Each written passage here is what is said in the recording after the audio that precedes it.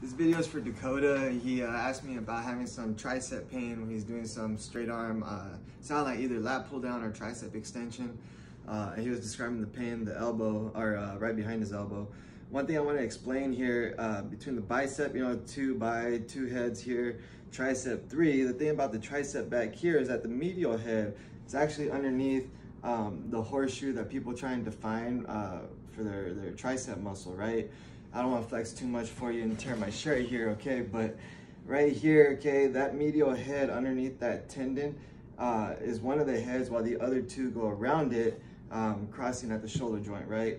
So this part gets stuck a lot, okay? And so when it comes to bending, straightening, you know, a lot of stuff, it could cause a lot of discomfort, okay?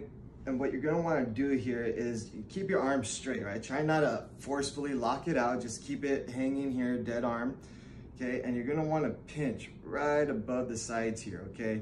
Now, if you cannot feel your bone right here along this ridge on the outside, that's gonna be the problem, okay? And then on here on the inside, it feels kinda, it's usually more like a cloudy, weird knot that I find on the inside, and then on the outside, it's just a hard knot, okay? So anyways, you're gonna be here, and you just wanna pinch it, okay? And this should be mobile, okay? You should be able to move that medial head okay? Because it's not supposed to be stuck to your bone uh, back here.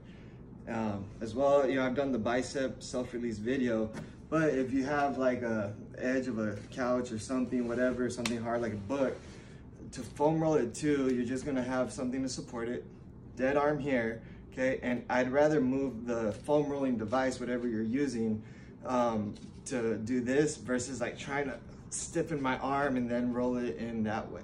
Okay, so you can pinch it loose here, tear that apart, break it up here as well with something. And uh, you know, of course, any kind of typical tricep stretch is gonna help. When you do this tricep stretch, I actually like to, when you hold it here, you can actually just move your arm up and down as well. So give that a shot, man. Let me know how you like it.